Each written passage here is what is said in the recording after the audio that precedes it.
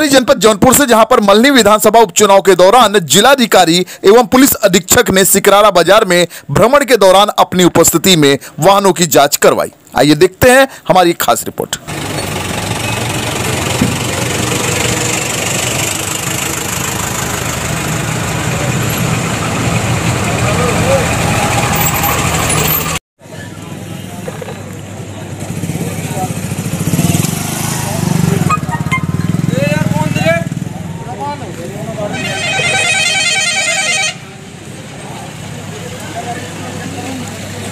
Thank you.